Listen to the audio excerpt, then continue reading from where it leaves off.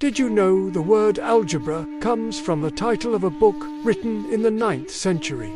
The genius behind it was Al Khwarizmi, a brilliant Muslim scholar.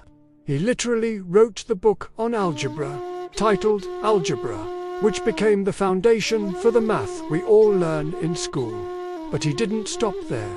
Ever heard of an algorithm? Yep, that's him too. The very concept that powers your computer, your phone, and even your search engine traces back to his name and his groundbreaking work.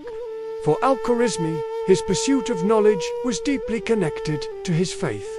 He saw the universe as a place of divine order and logic, and he believed mathematics was the language used to describe that divine precision.